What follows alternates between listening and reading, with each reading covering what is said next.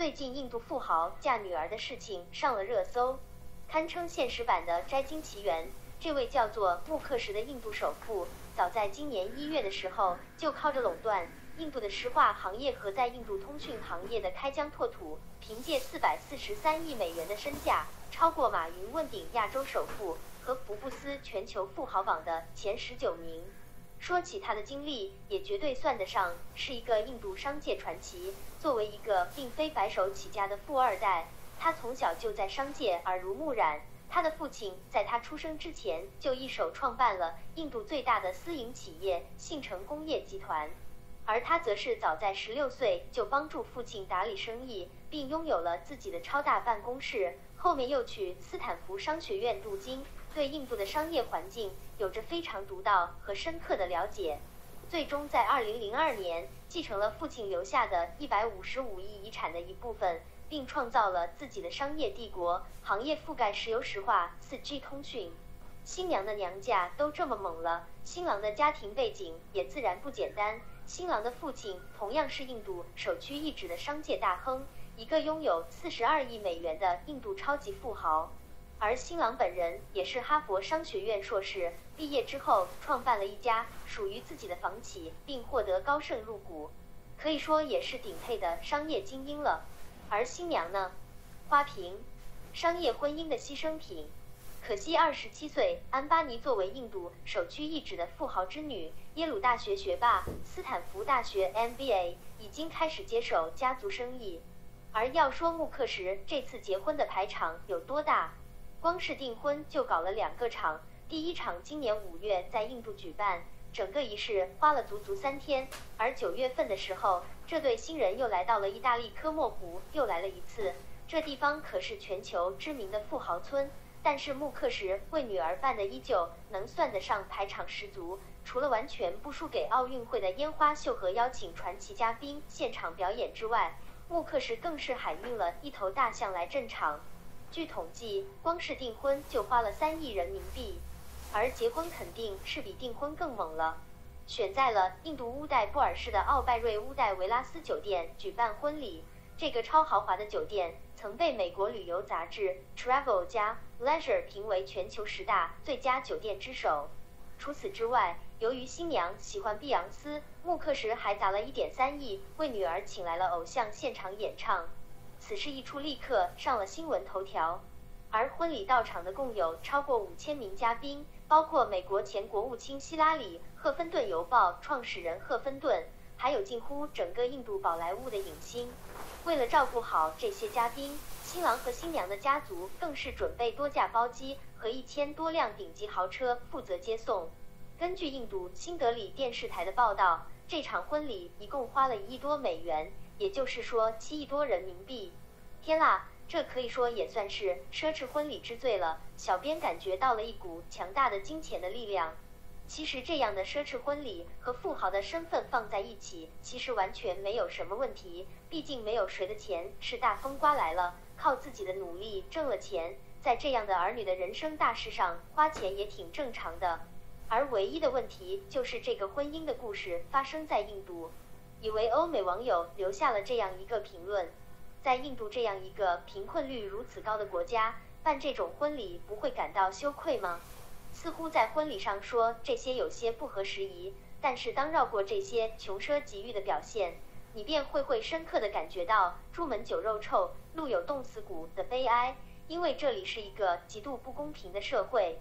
如果说美国是中产天堂，而加拿大拥有最好的福利社会的话，那么印度就是一个围绕着富人打转的国家。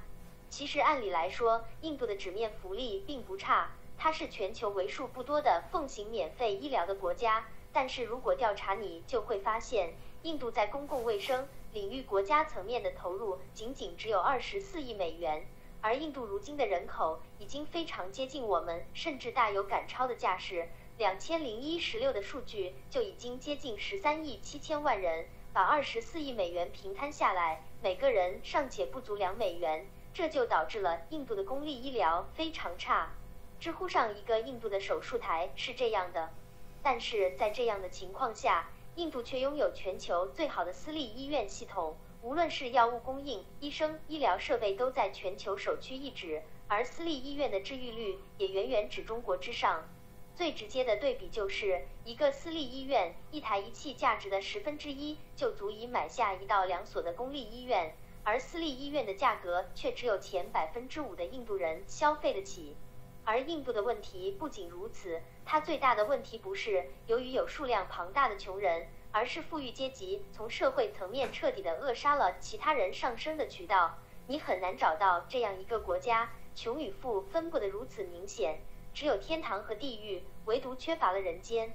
在孟买，穆克什家有这样一栋二十七层豪宅，斥资六十七亿，全球最贵。而为了打理这栋即使主人由于风水不好不再居住的豪宅，依旧有六百名佣工随时待命，并日常维护这座穷奢的现代宫殿。而同样在孟买，或许几个街区之隔，就有一个贫民窟，住在一群手陀螺。不知道各位知道印度的种姓制度吗？这本来是在印度从英国殖民地独立之后已经废除的制度，但是却依旧如同烙印一般，深深地根植在了印度这个国家里面。种姓制度分为婆罗门、沙地利、吠舍和首陀罗。应该说，进入现代文明社会，婆罗门已经没有过往的那么强大的权力，只有在一些乡村地区，婆罗门阶级依旧可以借助声望，扮演着宗教领袖的角色，接受别人的经济供养。阿米尔汗的《我的歌神啊》中拆散家谷和男友的 Taparsvi 大师就是其中之一。整体来说，上两层的阶级分化已经不那么明显了。但是如果把视线往下看，看到吠舍和首陀罗，你会感觉到一种压抑，社会层面的压抑。这些压抑源自对吠舍阶级和首陀罗阶级的限制，也是那句九亿牲口一亿人的源头。有些有足够知识和能力的首陀罗们。他们应该会很羡慕中国人，因为中国人对现状不满的时候，他们有权利选择移民，选择离开这个国家。至少中国人有移民的权利，而首陀罗们几乎没有。他们中即使有的人已经成为了教授这样体面光鲜的职业，但是依旧会面对各种各样的歧视。他们喝过的水可能会被直接倒掉，他们坐过的椅子甚至可能会被要求消毒。而他们大多也被要求不能走出国门，而这还不算什么，因为在四大种姓之外，还有更低贱的达利特人。在阿米尔汗主持的电视节目《真相访谈》中，就登场过这样一个女教授。出生在达利特阶级的她，即使去买酸奶，都会被店主倒在身上，因为坏掉的酸奶会引发恶臭，招来苍蝇。而达利特只配穿充满了恶臭并爬满苍蝇的衣服。而即使歧视如此严重，像女教授这样找到体面工作的达利特也几乎没有。大部分的达利特都在印度从事极其低廉的工作，比如说下水道清理工。他们的工作不仅仅是清扫下水道而已，而是面对下水道里的垃圾山。这些垃圾堆和污水以及微生物形成了极其难清理的脂肪块。此前伦敦也发现了类似的情况。